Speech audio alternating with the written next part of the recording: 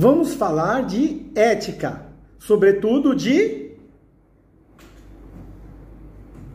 imperícia, imprudência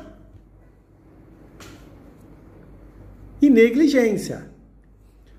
Como eu mostrei aqui nessa imagem, o fato de você não utilizar as luvas para realizar um procedimento que você tem risco de se contaminar indica que é uma imprudência.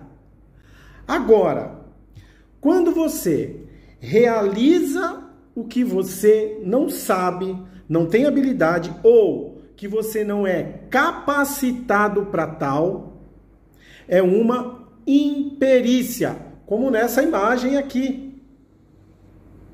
E por fim, nessa outra imagem, quando você não faz, ou seja, a omissão, quando você não faz, então você tem lá, nesse caso, um paciente solicitando ajuda, necessitado de ajuda e você não faz.